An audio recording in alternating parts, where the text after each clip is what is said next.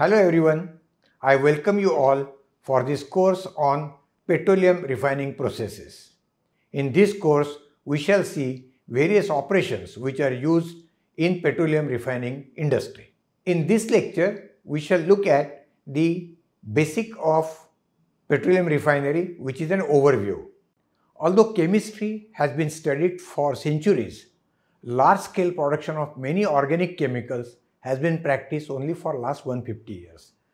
The earlier chemical processes depended mainly upon coal as the main feedstock.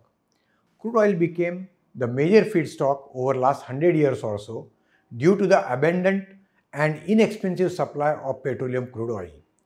Crude oil is a mixture of hundreds of organic chemicals, predominantly the hydrocarbons the main feedstock for chemical industry today is crude oil. Crude oil, as I mentioned earlier, is a mixture of hundreds of chemicals consisting of carbon and hydrogen. Other minor elements are oxygen, nitrogen, sulfur and phosphorus. Crude oil as such may not have any utility. It is therefore refined and upgraded to more useful products, predominantly fuels and many organic petrochemicals. Let us look at processing of crude oil. Typical operations used in refining are first washing and desalting, then distillation, both atmospheric as well as under vacuum, light ends processing, extraction and distillation, and major chemical reactions are alkylation, hydrogen manufacturing, hydrocracking, hydroprocessing, catalytic reforming, steam cracking, catalytic cracking, visbreaking, coking, sulfur recovery and lubricant manufacturer, LPG manufacturer and then finally the petrochemical manufacturing. The first operation is washing and desalting. Temperature of the process is around 70 degrees centigrade. About 250 to 300 grams of salt per 100 meter cube of crude is removed in this process. At this operating temperature, the viscosity of crude is sufficiently low for removal of salts associated with the crude. Next operation, very important one, is distillation. The crude is separated into various fractions depending upon the boiling point range. Higher boiling point fractions, about 450 degrees centigrade, may be subjected further to vacuum distillation. It is easy to find out the volume that is present for a given temperature range or the cut.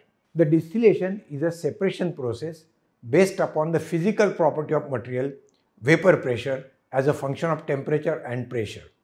The primary distillation separates the crude into fractions consisting of mixtures of various organic materials. It does not yield any pure or near pure substance. Most substances exist in three forms solid, liquid, and gas, that is, vapor. The typical crude is separated into seven or eight fractions. The lighter fractions contain lower number of carbon atoms these are separated from the top of distillation equipment or column. The higher boiling point fractions are separated from the middle point of the distillation column and fractions of very high boiling point are removed from the bottom of the column. A typical separation process is shown schematically. So, crude enters as it is seen here. Fraction 1, mainly gases, boiling point less than 40 degrees centigrade. Fraction 2, boiling point up to 150 degrees centigrade. Fraction 3, boiling point up to 200 degrees centigrade. Likewise, we can see various fractions. What it means is that fraction 2 will have the materials where the boiling point is more than 40 degrees and maximum temperature about 150.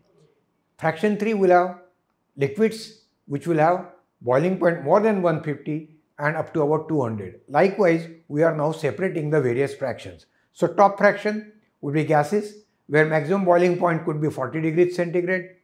Second fraction will have maximum boiling point of 150. Third fraction will have maximum boiling point of about 200. And depending upon the crude composition, the number of components present in these fractions will change. And as you can see fraction 7 and 8, boiling point is over 450 degrees centigrade. Therefore, sometimes these fractions are subjected to vacuum distillation so that boiling point reduces and you can separate some of the materials. Different fractions are designated also as top or light fractions, middle range fractions and bottom or heavy fractions. A typical curve of percent volume fraction over different boiling point temperature for a crude oil is shown. the volume between two temperature is the fraction over the temperature range. This helps in separating the crude in different fractions.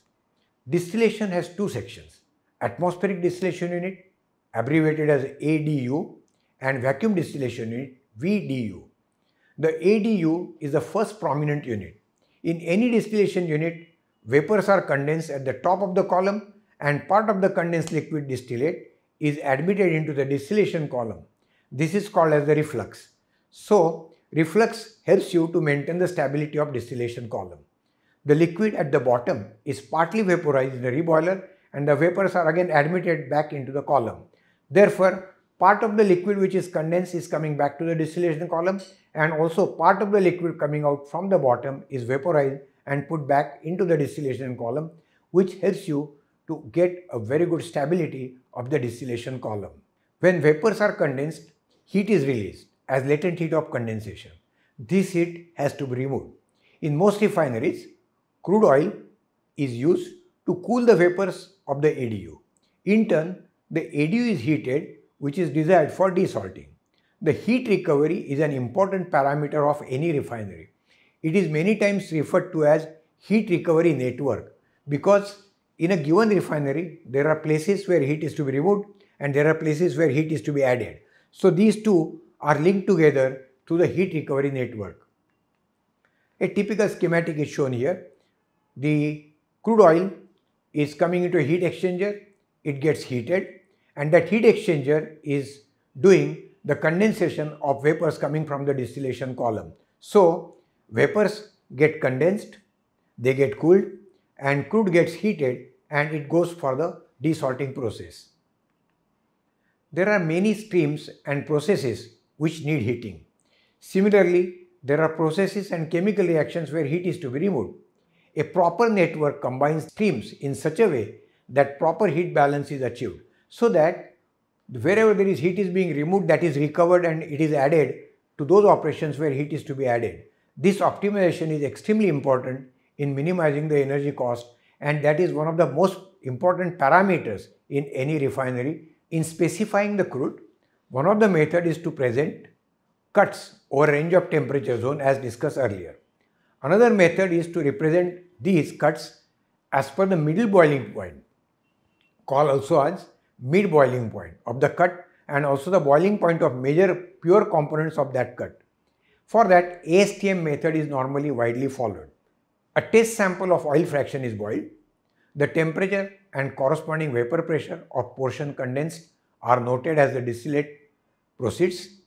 Temperature are plotted against the distillate removed and this is a typical ASTM distillation curve. Now we shall see typical composition, what we get from one barrel of crude oil. For a 35 API crude feedstock, LPG is about 1.4%, naphtha 25.6%, gas oil 21.2% and fuel oil is 41.2%. So basically it's mainly used for the fuels. What is alkylation? As the name suggests, the alkyl group is added. So isobutylene and isobutene, which is unsaturated olefinic compound, they react to produce isobutene octane, which is a branch material which improves the octane value of the gasoline. The straight run fuels like kerosene, gasoline or diesel are mixtures of many many chemicals. These are used as such with some minor changes keeping in mind the specifications from pollution point of view and also the performance of these fuels in burning characteristics.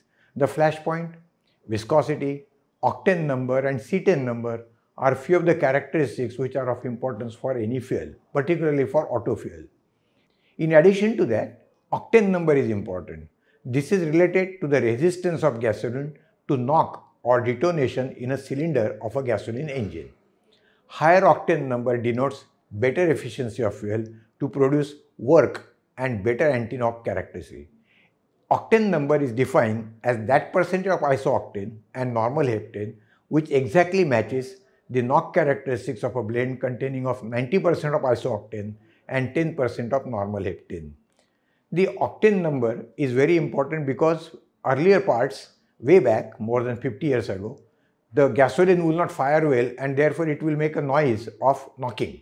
So now that is removed and that is uh, available or that is obtained by alkylation. Extraction, as I said, will be using a solvent and they remove the materials like benzene, toluene and xylene which are much higher end value. Remaining part is used as a fuel. So upgrading the naphtha and lubricating oil is possible with extraction. So that what we are doing by upgrading, we are removing the materials like benzene, toluene, etc. Extraction is a separate process that we will not consider because it's a physical process. Value addition is achieved through recovery of important aromatics. What are the major features of refinery? Very large inventory requires very large size equipments and therefore larger space and it adds the cost of the process. Process water, steam, air and electricity need to be used very properly and in an optimum way, in an economic way. Optimization at every stage is essential. Design of refinery or the process technology should have features to handle different types of crude, not only one type of crude, because crudes, they vary in their composition. Petroleum distillation is carried out at atmospheric pressure to separate gases, naphtha, middle distillates and heavy fractions. The residual heavy fractions are then subjected to vacuum distillation to separate vacuum gas, lubricating oils and asphalt or pitch. Cracking of natural gas, naphtha and some higher fractions yield ethylene, propylene, butenes and pyrolysis oil as well as pentenes. Catalytic reforming of naphtha uses benzene, toluene and xylenes. These are very important chemicals. The seven members C1, C2, C3, C4, C6, C7 and C8 are major basic fractions which yield other petrochemicals. In this, we did not put C5 because it's a cyclic compound and it has limited uses, therefore we didn't consider it here but C5 is also one of the important building blocks which we have seen earlier. These can be termed as pillars of organic chemical or petrochemical industry.